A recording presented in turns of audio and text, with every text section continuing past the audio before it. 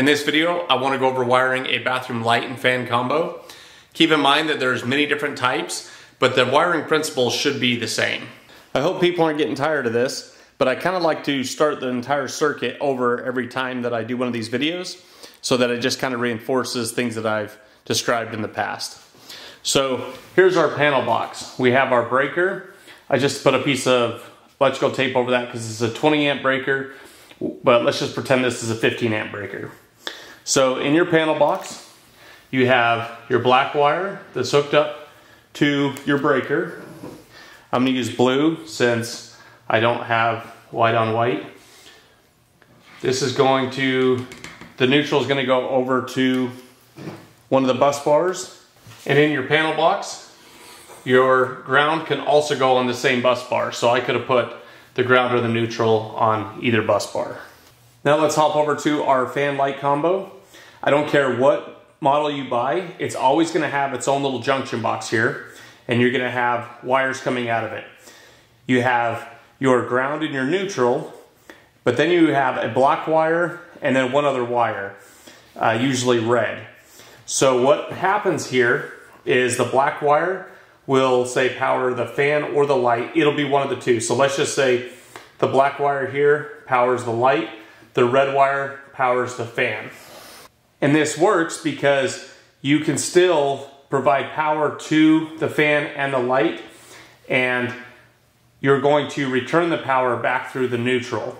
The reason I want to show the switches last is there's one of two ways to wire this up. You can either have one switch that when you turn on the power, it powers both the fan and the light together, or you can use two switches to where one switch will control the red wire, one switch will control the black wire. So if you've seen this in a house, maybe your house has this, you actually have two switches. You walk in, you can flip the first switch on, the light comes on. If you need the fan on, then you can flip on the other switch. If you live in an older home, Sometimes they have both the black and the red tied together.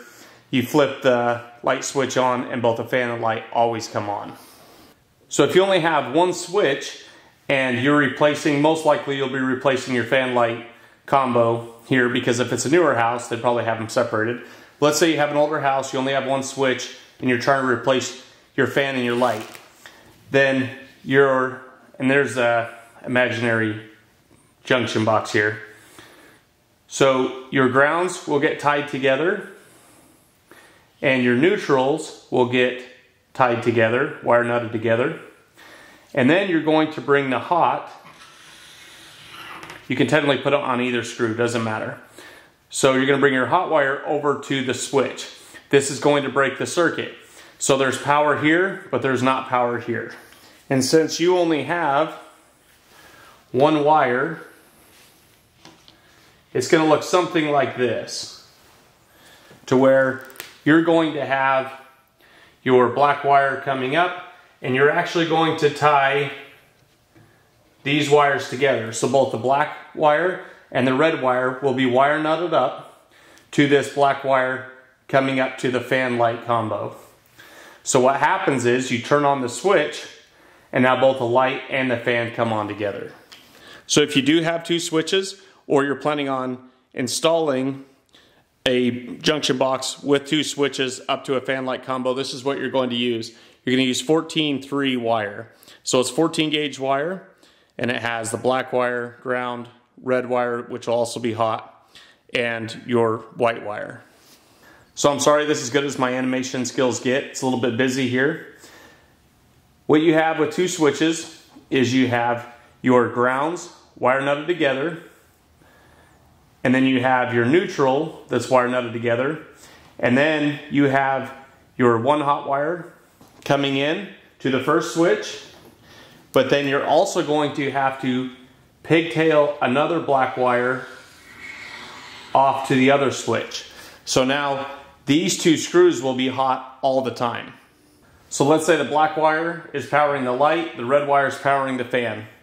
So you walk into the bathroom, you have power at these two screws. I want the light on. I flip the light on. Now power is going through the black wire up to the light, powering the light, and then the circuit is returning the current back to the panel box. Same thing with the fan. If I want the fan on, I turn the switch on and then the power goes through the red wire up to the fan and then also it returns back through the neutral back to the panel box, completing your circuits. I didn't actually need a bathroom fan and light.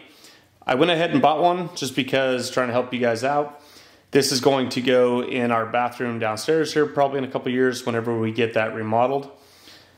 But you should have something similar to this. Usually what I see is a bunch of wires coming out and you just have a tiny little junction box here. It's usually like a flat cover or something and there's a hole in here to where you can run your wire into it and you got to cram all of the wires into it. What they gave me here is a decent sized junction box to where you have the hole that comes in and you'll use something, I like using these, where you'll stick the wire through and it's really hard to pull them back out so it secures your Romex wire going in. There's different types you can use. And then what you can do is make your connections and then tuck everything in here. And this is actually a really good design. I like that they did this. Usually I have to shove a ton of wires into a small space. And just like on purpose, they're gonna make a liar out of me. Usually the ones that I hook up, there's only four wires. This one's a little bit different. There's five. It's pretty easy to tell. Your blacks will still be your hots, your whites will still be your neutrals, and of course your ground is green. So if you see something different, don't get intimidated by it. Just think it through. The first thing you can tell is, I know that the green wire is going to go to the copper wire. So you're gonna wire nut the green wire to the copper wire. And you already know as well, the neutrals can just go together. The neutrals are only creating a path back to the panel box. And you're never going to provide enough power to either one of the hots that this neutral, that these neutral wires can't handle the load going back. All these wires are made to withstand a certain rating and you're never going to be able to exceed that rating. So you can go ahead and just wire nut these two neutrals together. That's not a big deal. With the black wires, if you have a single switch and there's only one black wire that's going to be coming up to the fan light combo to power it, you can wire nut these together. And this is what I mean by a single switch setup. So we have 14 gauge wire. This is 14 2 wire as there's two conductors. The ground doesn't count as a conductor. It's not part, technically part of the circuit. So now we decided you can wire up the grounds together. Both of the neutrals can be wire nutted together. They don't need to be separated. So now you can go ahead and wire these up. And since you only have one switch and only one hot wire coming in, then these can be wire nutted together. And then once you're done, just cram all the wires into the box here, put your screw in, and you have a safe junction. Of course, not like I have now, with wires going everywhere, but everything connected together. Carefully put everything in, and then screw it down, and everything is safe. But now we're going to use 14 3 wire, which means there's three conductors. 14 gauge wire, three conductors. Ground doesn't count as a conductor. Here's your three conductors. You have two hots and a neutral. Well, you already know that you can wire nut the two grounds together. And you also know that you can wire nut the two neutrals together. So in this case, obviously they didn't denote which wire is for the fan and which one's for the light, but it's pretty simple. Here's the wire that's going to your fan, and this one has two prongs. You know it has to get plugged in right here. So now you just flip this over. Okay, so now I know that it's this wire here that's going to be the fan wire. This one's going to be for the light. So of course you're going to need to know which which wire, the red one or the black one, is your fan or your light. So if I said that my red wire is for my fan, then these two wires would get wire nutted together and these two wires would get wire nutted together. After that, you just carefully tuck everything down into the box again and close it up properly and you're ready to go.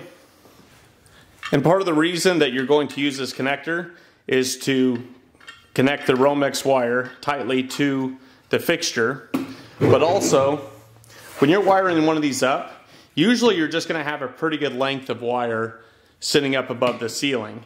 And that's so you can go ahead and wire everything in and, and kind of manipulate everything around the way that you need to. And of course, since I'm not installing this, I didn't strip any of the Romex wires. I didn't wire nut anything together. I don't need to hear anything from, you know, a 30 year master electrician about like this, that, and the other thing. This is basically just showing which wires go to, which Romex wires go to which wires on the unit. And so I'm just kind of showing you some tips on how to, how to install, how to wire this up. As far as installing it and things like that, that's all going to be specific to whatever model you get. So that was just a really brief overview of how the circuits work with these units.